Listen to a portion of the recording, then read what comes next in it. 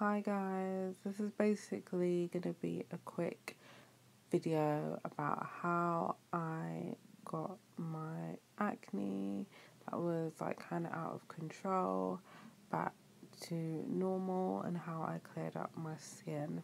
I don't know what I was going through at the time, but I guess I was going through some kind of depression or something, and my skin was just breaking out and I had to find out what kind of acne I had. I had um, like bacterial acne, so I had to use some products from the doctors. Um, I started to use a product called Acnecide, which really helped clear up my skin. Um, you can see the before and after pictures.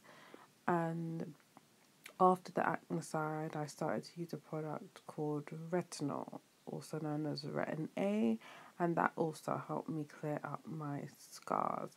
I'm to do um, a few more videos about how I cleared up my skin. I'm to show the products that I used, um, the cleansing products that I used. Um, yeah, so that's how I kind of cleared up my skin. Thanks for watching.